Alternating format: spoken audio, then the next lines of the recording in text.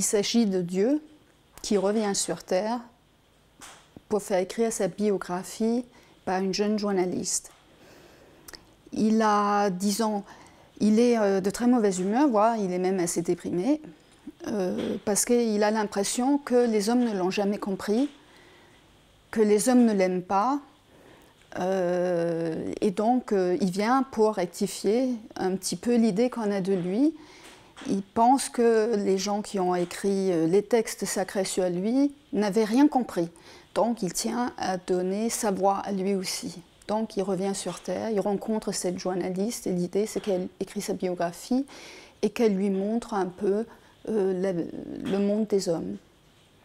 Suis réellement agnostique, à savoir je doute surtout, je ne peux pas exclure l'existence euh, d'un principe euh, ou de quelque chose de supérieur à nous ou de quelque chose d'ailleurs. D'ailleurs, comme je ne peux pas non plus affirmer ou ça n'existe, il y a peut-être absolument rien qui existe, je ne sais pas, je ne peux pas savoir. Euh, cela dit, je considère, euh, et ça c'est très personnel bien sûr, je, considère que, que, Dieu est une invention littéraire. Les écrivains qui ont écrit à l'époque euh, l'Ancien Testament, par la suite le Coran, le Nouveau Testament, c'était des écrivains. Et donc je reprends cette idée de roman de personnage qu'est Dieu à mes yeux, et j'en refais euh, un, personnage de roman euh, à nouveau. Et donc l'idée étant de, de, de, lui donner sa voix à lui aussi pour dire les choses comment lui le voit, parce que en, c'est vrai que la Bible, l'Ancien Testament a fondé notre société depuis des millénaires et en fait on n'a jamais réellement touché euh, à, Dieu. Oui, il y a Jésus, euh, il y a les anges, il y a Marie, on fait des tas de choses avec eux, mais Dieu il reste comme ça un peu sur le recul. je, trouve qu'il est resté euh, comme ça un peu sur le recul, on n'a pas vraiment touché à cette image qu'on a de lui.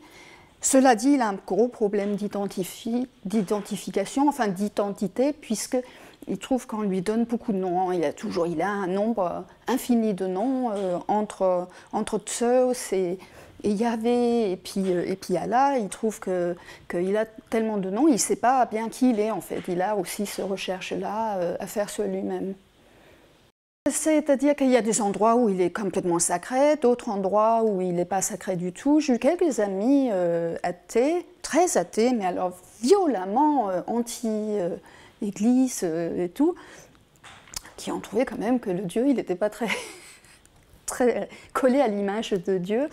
Ça m'a toujours un petit peu turlupiné que que même pour les athées, Dieu c'est quand même une entité et on s'oppose contre lui. On est pour ou contre lui. Moi je, suis agnostique, je suis ni pour ni contre. Moi je me pose juste des questions, c'est tout ce que je fais.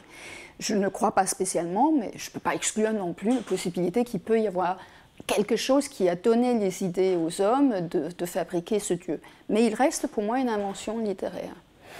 Donc c'est euh, en tant que tel que je, la, que, que l'amène sur Terre parce que en définitive, il n'a pas de biographie. De tous les hommes qui ont influencé notre histoire, les hommes ou le Dieu, là encore, ça reste à, voir, comme je suis en train de.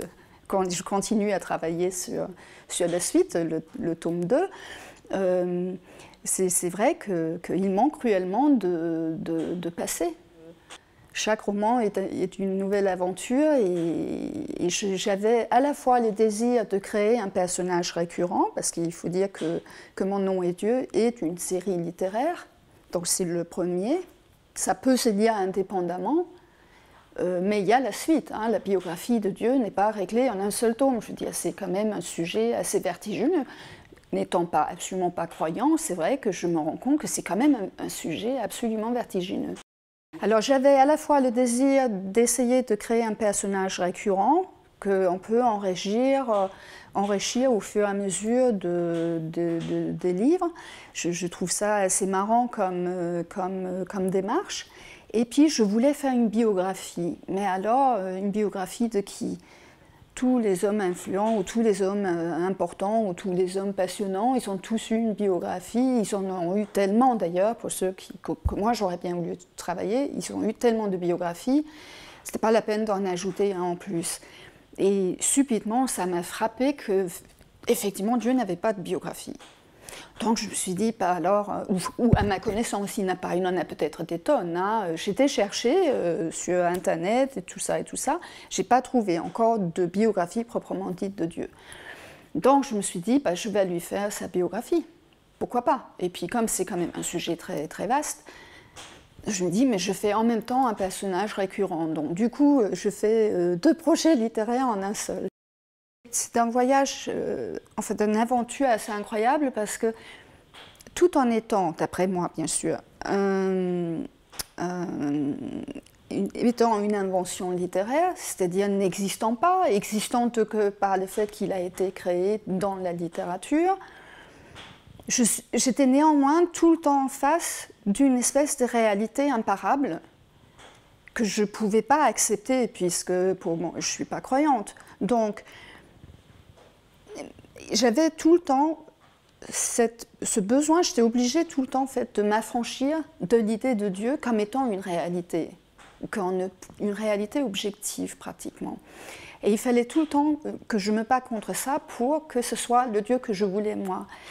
Euh, et, c'est là où je me rends compte que par moments, je me dis quand même c'est Dieu dont il s'agit. Donc c'était assez vertigineux. Ça, ça a donné une espèce de liberté folle en fait d'être comme ça, pouvoir manier ça comme une matière. Ça a été vraiment... Et ça continue à l'être puisque j'ai commencé le, la deuxième tome.